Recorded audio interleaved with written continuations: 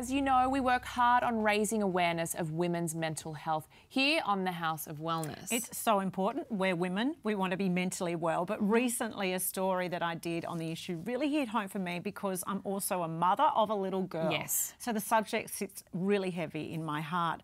And studies suggest more than half of Australian women suffer from anxiety and depression, with many not feeling comfortable discussing their issues, not even with their doctors. Yeah, this is this is sad. So to find out what can be done if you or someone you know is suffering from mental health issues, listen up because we are joined today by Dr. Fiona Martin. Hello. Hi. Hi. So this is astounding. It is Australian astounding. women don't even feel comfortable talking to their GP, their doctor, family and friends. Yeah, it's very concerning that the statistics are that half of Australian women suffer from anxiety and depression, and that 67% reported mm. that they feel on edge and and you know uncomfortable every single day or most days of the month. And it's really concerning because they are the caregivers, in, mm. generally speaking, in their right. households. So there's a whole community of people that are affected by that. Mm. Why are they not feeling like they can go and speak to someone? Well, we know that a lot of women are engaged in, you know, paid work, but the bulk of the domestic chores at home and the caregiving are also done by women. And I guess that they're overwhelmed by what's in front of them, what they have to get through, and so they're putting other people, family members, before themselves. Um, and also just finding it difficult, the stigma of mental health, talking about your issues and talking about, you know, the difficulties that you have in your relationships or, Yeah, you know, yeah. I- It's hard to recognise this, isn't it, in ourselves sometimes and also the ones that we love. What should we be looking for in ourselves or family and friends that are suffering? Yeah, well, I'll say this that um, all women across the lifespan are vulnerable to um, stress, anxiety, and depression, and no one is immune. Okay. Um, not one of us. And, you know, there are lots of different causes, of course. You know, there's psychological, social, and, and you know, um, biological causes Yeah, as well for, for stress, anxiety, and depression. But there are certain groups, I think, that are mo- very vulnerable, and those groups include young people, that inst- you know, young women, that Instagram generation, Yes. that vulnerability to um, Compare. Yeah, that's right. You know that idealistic, you know, body image that they're looking at these images and and they're not at all um, Achievable. They're or- false. They're yeah, false. yeah, But they're exactly. apt and they're distorted and Yeah. Yeah, yeah, very much so.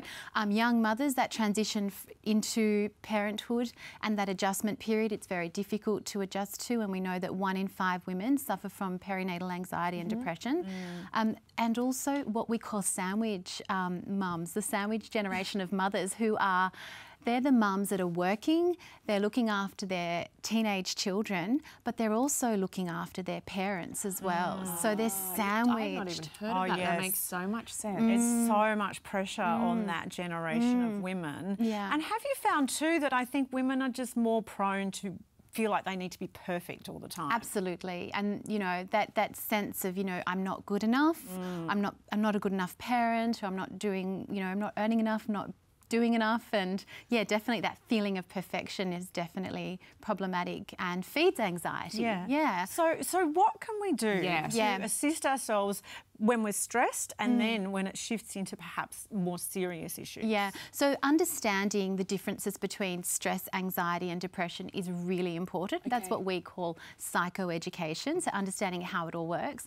Stress is short term, it's not long term, and it's our body's response to a trigger or a threat. Okay. It can be positive and it can be negative. So the positive um, stress is obviously, you know, helps you meet a deadline at work um, or, you know, win, win a race. Negative stress is, interferes with sleep, for example, and that's not helpful. And, you know, stress can cause havoc on our, on our mind and body if we don't get get it reduced, um, you know, before it can turn into something more serious like anxiety or depression. Um, anx- anxiety is more, li- you know, um, longer term, and it is characterised by excessive worrying. So it's that constant, intense worry that you know um, And it kind of becomes debilitating. So It when it can gets be. to that point, Yes. see your doctor, Absolutely. get some information. Absolutely. information, make a call. That's right. We are so lucky that we have resources in our country Mm. um, and free ones as well. Yeah, yeah. So thank you so much, Dr. Fiona. There is so much to cover.